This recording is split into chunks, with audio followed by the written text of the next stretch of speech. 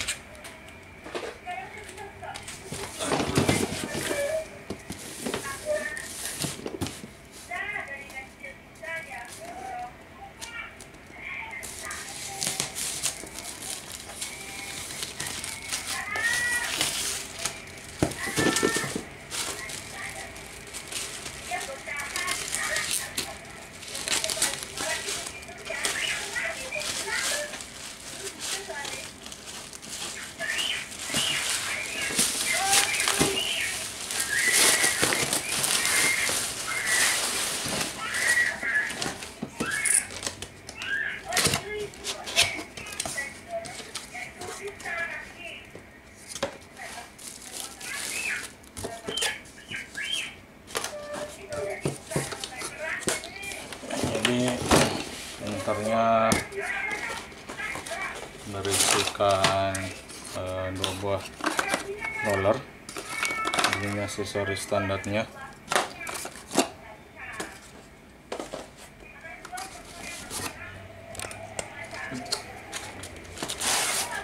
Adaptor dan kabel listrik. Serta sudah ditambahkan apa namanya konverter ini dari sellernya supaya bisa digunakan di listriknya Indonesia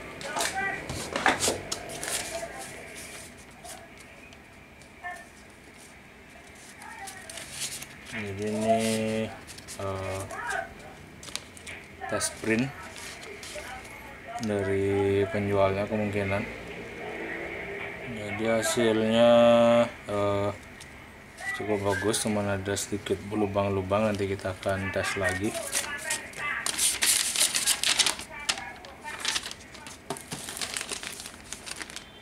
Ini ada kabel USB dan CD driver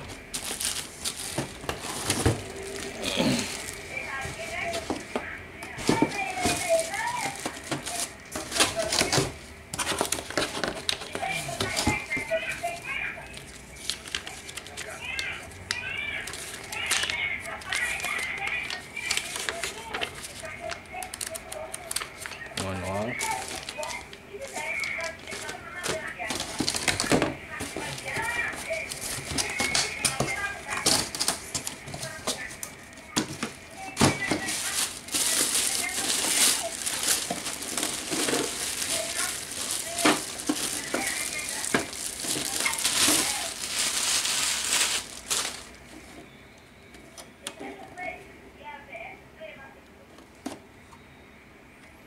tanggal 9 bulan 12 2019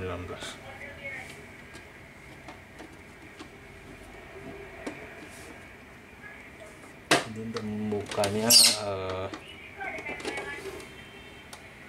agak unik juga dan ini posisi dalamnya dulu pertama-tama kita akan eh, lihat kertasnya dulu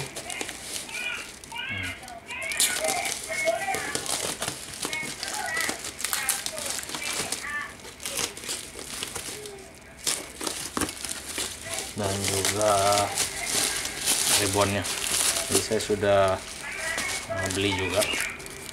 Karena memang defaultnya printer Zebra nggak ada bawaan ribbon ataupun uh, apa namanya kertas labelnya. Karena kertas labelnya uh, berbeda-beda kebutuhannya. Jadi di sini kita sudah beli yang uh, 30 3 kali 15 jadi ada dua yang putih sama yang biru. Eh, saya belum tahu bedanya jadi saya beli keduanya. Supaya nanti kita tahu perbedaannya.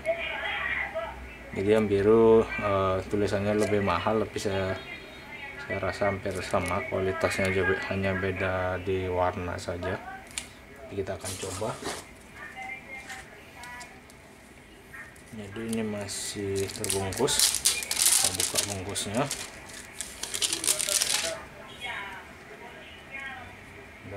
masukkan ini untuk uh, loading kertas. Tapi tadi ada dapat ada dapat roller. Kita masukkan dulu ini.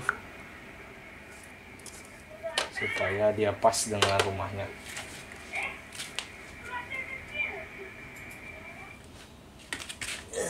Jadi kita coba dulu dan ada klipnya juga saya tidak tahu fungsinya apa. Kita coba dulu.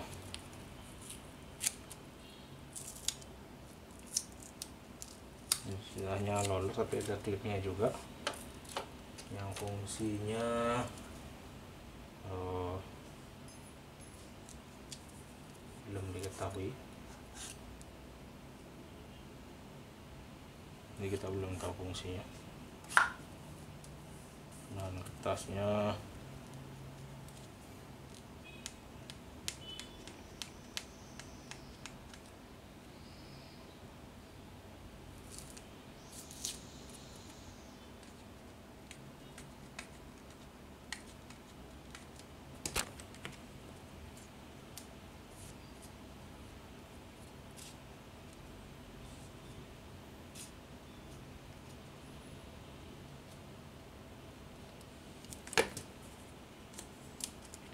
kita buka dulu.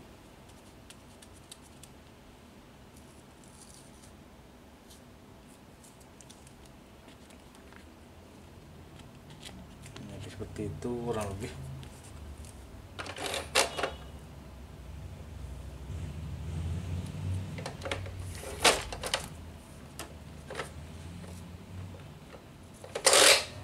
Saya salah ini untuk ribbonnya ya jadi roller ini untuk ribbonnya kita coba baca paduannya Eh, rollernya dua kertas besar satu kertas kecil satu. Jadi kita coba loading manual kertasnya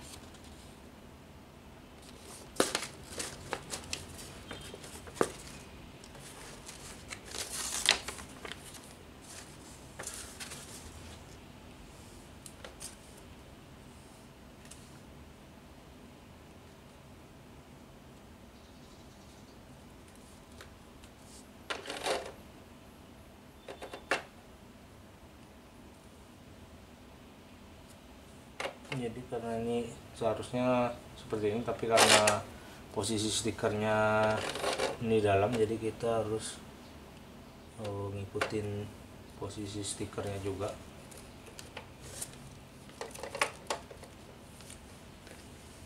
Ya jadi seperti ini nantinya. Kita harus mengikuti uh, posisi di stikernya karena yang di atas tintanya.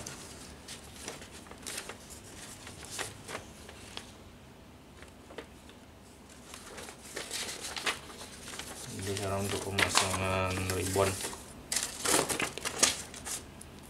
Karbon ribbon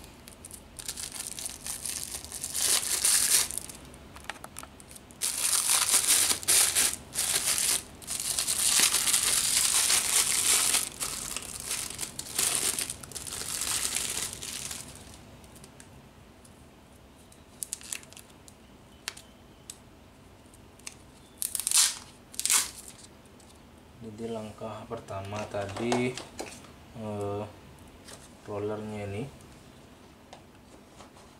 Sebentar dulu. Untuk yang eh, 300 meter kita pakai yang besar. Kalau dari buku paduannya 300 meter kita pakai yang besar. Kalau untuk yang 74 meter kita pakai yang kecil. Jadi kita pakai yang besar di sini. Kemudian oh, perlu langsung kita masukkan. Oh tidak perlu. Kalau yang besar uh, tidak perlu dimasukkan. Jadi yang pertama masukkan di di atas sesuai gambar uh, jadi seperti sudah selesai kemudian uh, kita pasang karbonnya karbonnya di sini tulisannya uh, birunya ini tidak dilepas.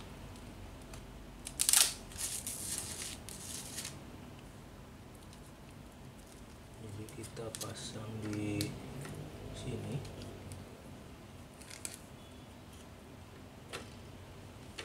Tapi kok nggak ada slotnya ya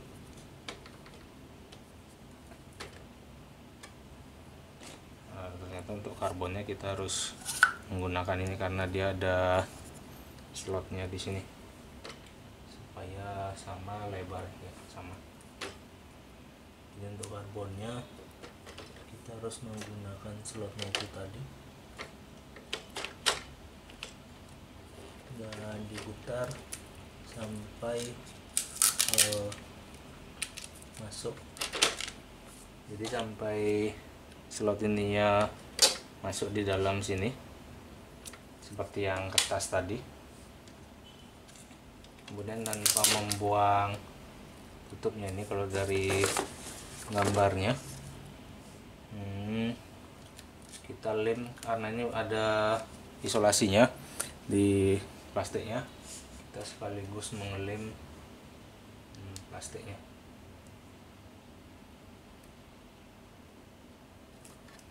jadi seperti ini. Sudah sesuai. Kemudian uh, putar hingga karbonnya terlihat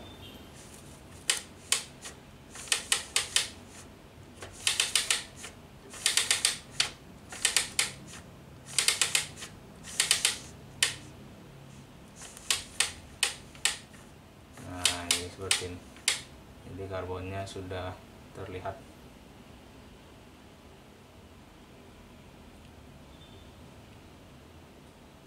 jadi kita akan coba. Tapi kelihatannya masih kurang ke kiri. Coba bisa diajus dan kita coba terlebih dahulu. Jadi seperti itu tadi. Tahap empatnya.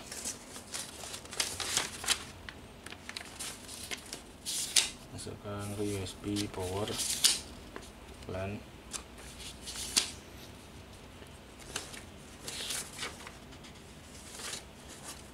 jadi kita tutup ininya jadi seperti itu kemudian kita pasang adaptor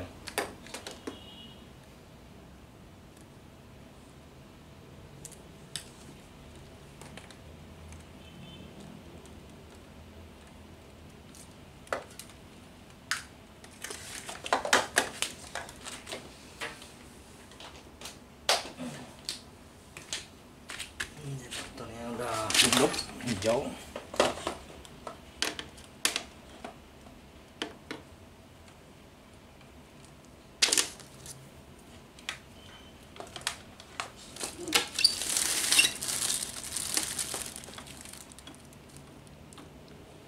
Pasang adaptornya kemudian kita hidupkan.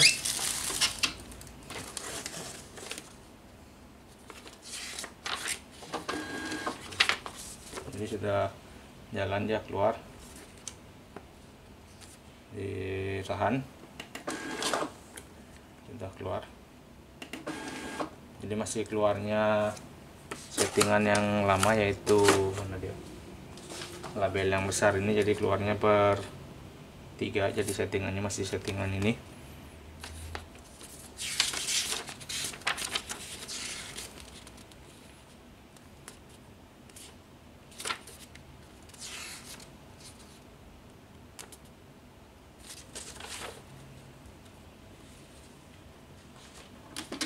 Jadi akan menginstal drivernya setelah ini. Hmm. Oke, kita akan install drivernya dulu. Nah, kita akan install di komputer dan kita akan mencoba kembali.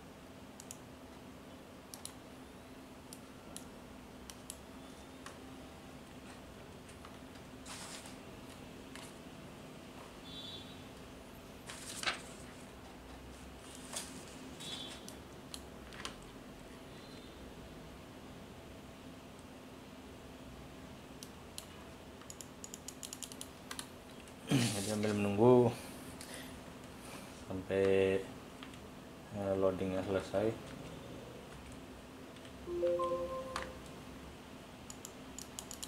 Ya ada loading.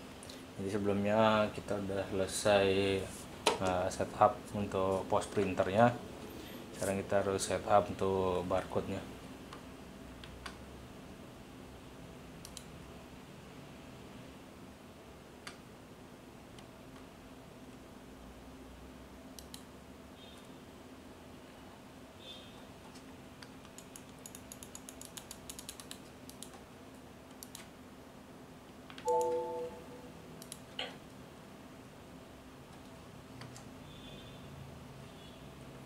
install new jadi pilihannya uh,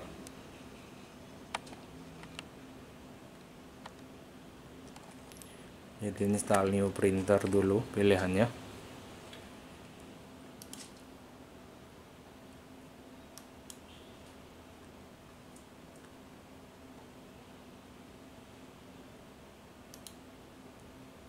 Install printer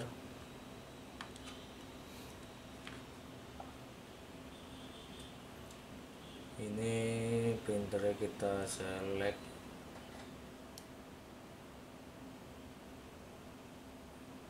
Zebra serinya.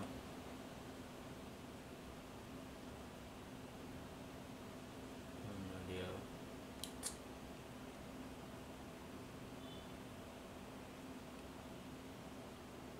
IT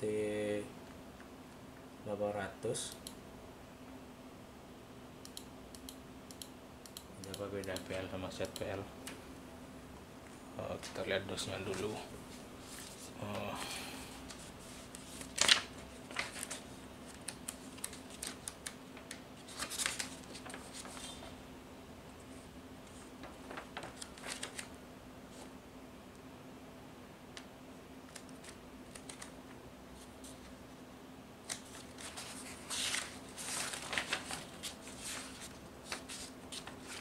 ini kode serius kurang jelas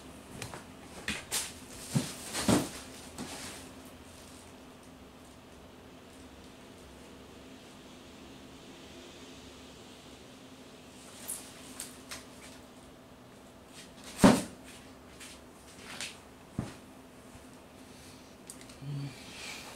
jadi antara dua ini oh, kemungkinan yang Z.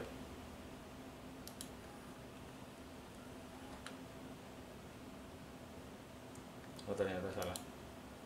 Jadi di sini sudah terlihat eh, GT 800 EPL di displaynya. Jadi kita GT 800 EPL update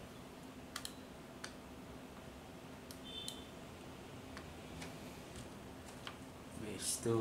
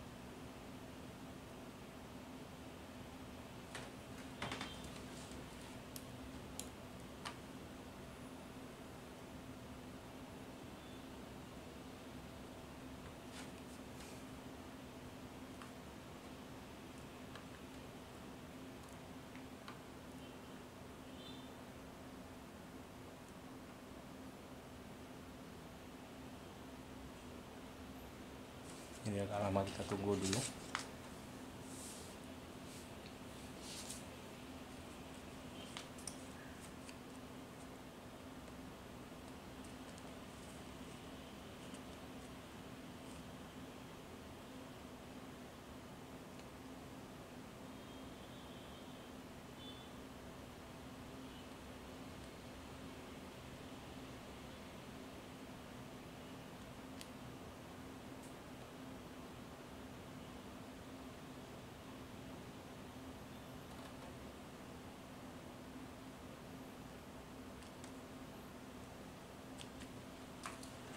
dan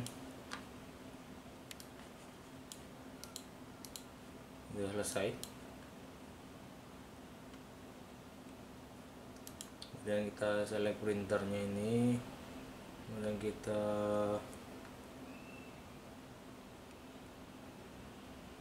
open printer tool. Di sini kita harus fit one label jadi sorry. Jadi kodenya fit one label tapi masih uh, keluar banyak sekali.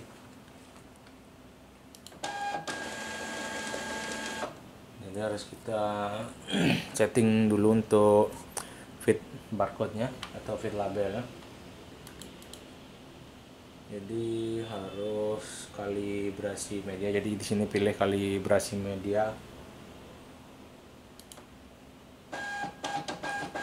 jadi printernya otomatis uh, kalibrasi dan kalau benar kita tekan tombol di sini satu kali jadi uh, barcode nya keluar satu persatu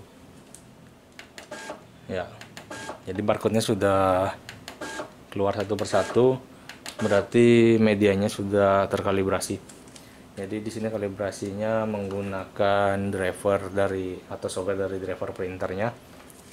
Jadi yang sebelum-sebelumnya saya sudah uh, menonton videonya kalibrasinya prosesnya manual.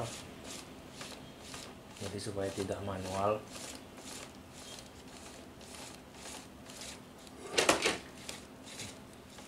kita gunakan dari software saja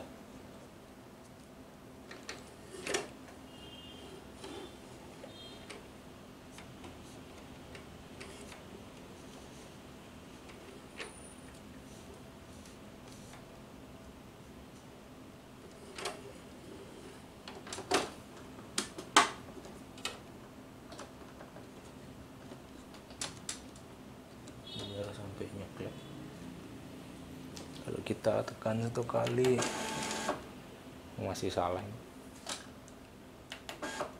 oh, udah. Ya betul. Kemudian uh,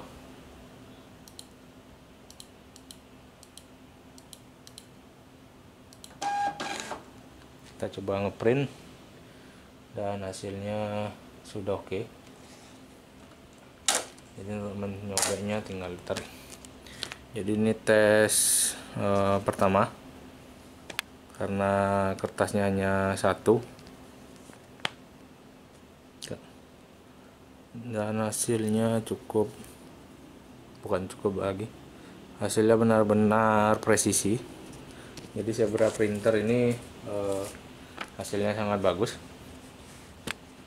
Jadi kita akan bandingkan dengan uh, resinya Gen E jadi resi Gen E ini printernya menggunakan argok dan dibanding dengan Zebra. Jadi untuk Zebra hasilnya benar-benar bagus sekali. Jadi kalau yang printernya argok uh, tulisan fontnya masih banyak yang terputus kalau kalian bisa melihat.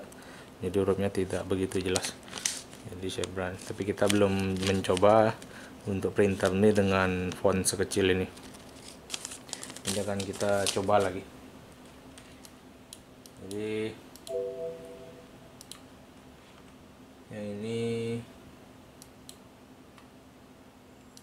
printer setting sudah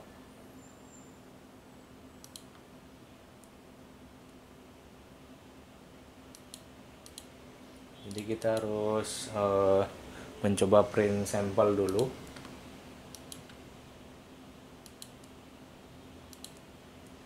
Kita coba kita coba print uh, 4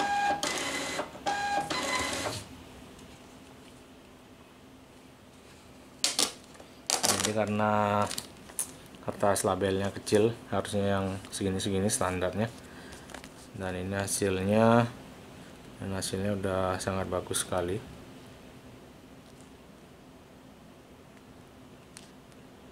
Darknessnya nomor 4 darkness 9 jadi yang darknessnya 4 saja sudah bagus. Ya jadi sekian uh, video dari saya mengenai barcode printer Zebra ini. Jadi di sini Zebra GT 820 jadi kenapa membeli yang GT 820 karena tadi rollnya dia memiliki kapasitas yang paling besar yaitu 300 meter untuk uh, ribbonnya dan untuk stikernya sampai 15 cm diameternya. Jadi kenapa harus beli yang langsung besar? Karena harga kertasnya yang besar ini seperti ini stikernya 10.000 pieces hanya di 50.000 sedangkan kalau kita beli yang kecil-kecil harga stikernya untuk 1000 piecesnya harga 30.000 jadi bisa sampai 10 kali lebih mahal harga stikernya. Dan kalau kita ngeprint barcode nya banyak sekali maka harga stiker ini benar-benar berpengaruh. Karena harga stikernya pasti nantinya akan jauh lebih mahal daripada harga printernya. Jadi seperti itu uh, tes dan review dari saya semoga bermanfaat bagi kalian juga yang menggunakan sistem atau program pos seperti ini. Jadi kalau kalian ada pertanyaan mengenai pos printer ataupun printer inkjet sebagai cetak resinya kalian bisa bertanya juga. Dan barcode ini akan kita bahas lagi di part selanjutnya itu dengan bagaimana cara mendesain labelnya supaya bagus. Jadi saya akan coba mendownload software barcode nya dan kita akan integrasi dengan software database yang saya buat. Jadi terima kasih sekali lagi. Jangan lupa subscribe channel saya. Kalau kalian ada pertanyaan silahkan bertanya. Dan sampai ketemu lagi di video selanjutnya. Dan semoga yang saya review ini bermanfaat bagi kalian. Jadi sekian dan terima kasih